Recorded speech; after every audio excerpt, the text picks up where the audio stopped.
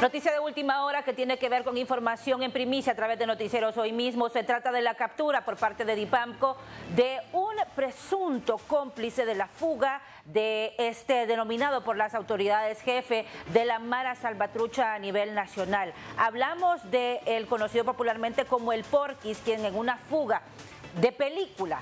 Eh, fue rescatado en los juzgados en el Progreso, como lo ven ustedes en pantalla, y luego de ello, luego cuando él llegó a este juzgado por eh, un juicio en su contra, eh, fue así rescatado por miembros presuntamente de esta estructura criminal. Evelyn, quien, quienes con pasamontañas llegaron al juzgado y lo rescataron, dejando al menos tres miembros de la policía militar muertos. Así es, Claudia El Porquis que fue detenido en 2015. Alexander Mendoza, alias El Porqui, había sido detenido en 2015. Al menos 20 personas con armas largas entraron en el juzgado para hacer, para liberar al Porquis. Es el video que usted está viendo en su extremo, donde ese video fue el 13 de febrero de 2020 cuando lo rescataron. Y en el otro extremo vemos lo que le han decomisado a este hombre, supuesto mm, cómplice en la fuga de El Porquis.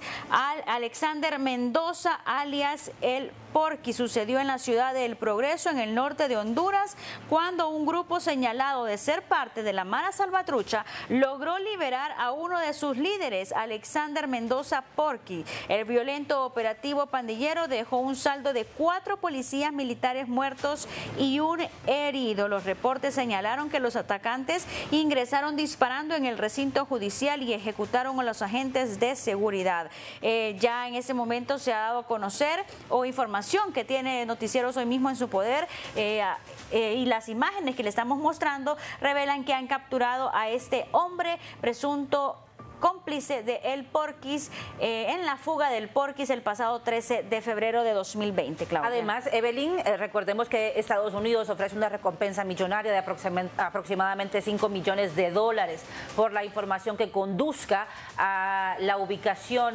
del presunto líder de la Mara Salvatrucha hablamos de El Porquis, por quien también hay una acusación en Estados Unidos y contra otros miembros de esta estructura criminal por tráfico de drogas y otro tipo de delitos eh, por los que eh, son solicitados en Estados Unidos y por ello se ofrece también la recompensa de 5 eh, millones de dólares.